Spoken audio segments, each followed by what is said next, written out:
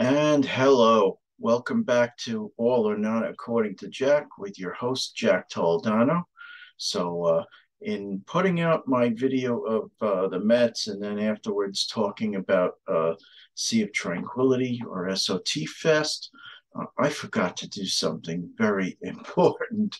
I was going to do a little mini slideshow um, of uh, some of the pics from uh, when I went to the game Monday night and basically celebrated my 48th anniversary of having gone to my very first Met game. So, what I'm going to do in this episode, and this will be a short and quick one, uh, it's going to be one of my part of my on location series, but it's also going to be a, a uh, little mini slideshow from some pictures that I've taken either Monday night or that I took uh, earlier this season going to see the Mets. So let's go right to it and let's share. Oops. Uh, share screen. There we go. So first pick is uh, me standing on the ledge there trying to get both uh, uh, the the Mets home run, the old Mets home run apple, which was uh, introduced in 1980, and it was retired when they built Citi Field in I think it was what 2008, 2009, 2009 I think it was, was the first season, and uh, just this season, if you look over to the right, you could see a statue. You can't see it very well.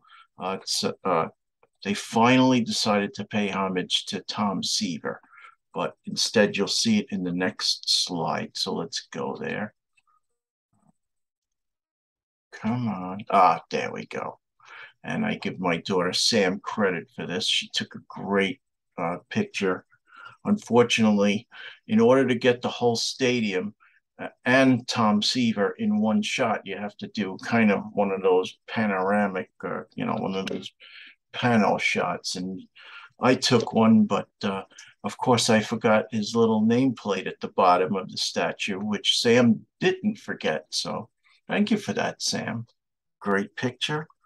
You know, it's about time they, they honored one of their own.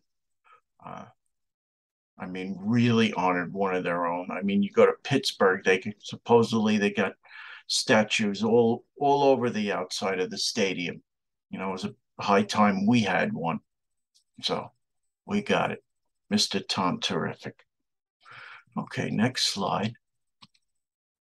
That's the three of us, three of us sitting in front of Tom Terrific, my daughter Sam, me in the middle, and George, Sam's boyfriend George, Yankee fan that he is, but he didn't wear any of his Yankee gear that day. Good decision, George. Uh, what I like is the accuracy of this uh, statue uh, Tom, I don't know, some of you don't re- remember Mets lore, but Tom, he would drag his foot on pretty much every pitch. Uh, that is a typical pose of how he would pitch, but hey, got over 300 wins and three Cy Youngs. He was doing something right. Okay, next picture. And this is uh, Jason uh, met up with us at the stadium four of us in the crowd enjoying the game.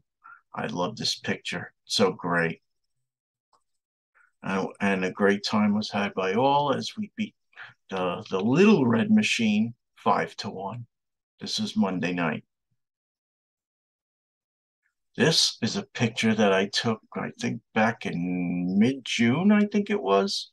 Uh, this was the uh, first game they played against the Miami Marlins this season. And uh, I sat in uh, the middle section, which they call the Caesar uh, section.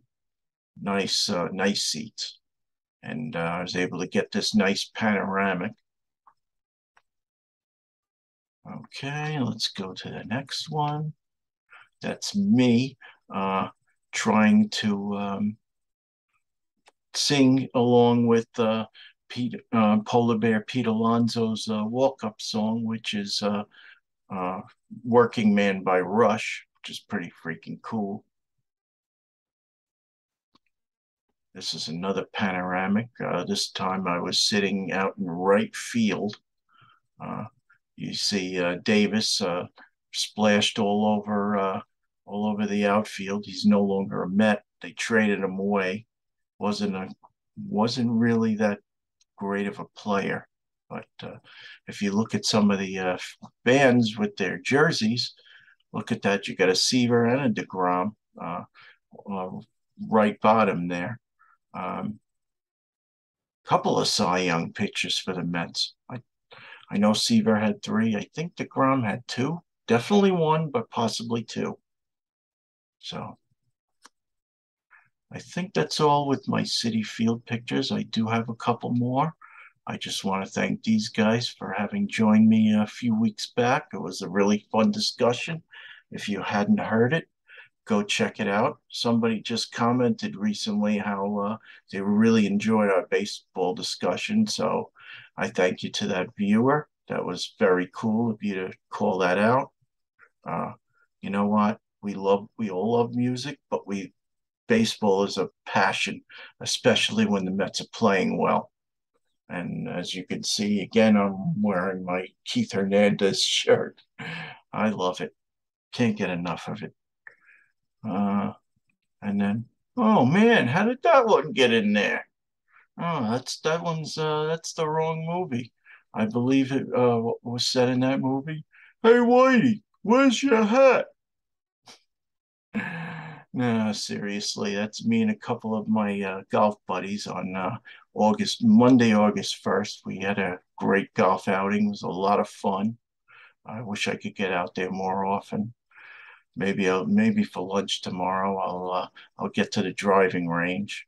Need to practice. So, all right, we can stop sharing. And that's that. So this really should have been incorporated into the last video, but uh, you know, I thought I took good notes, you know, and uh, plotted out my episode, but I screwed up. So sorry about that. But you get to see another video. So anyway, this is Jack Toledano speaking for All or None according to Jack. Uh, stay tuned for uh, more upcoming videos and have a good one. And let's go Mets.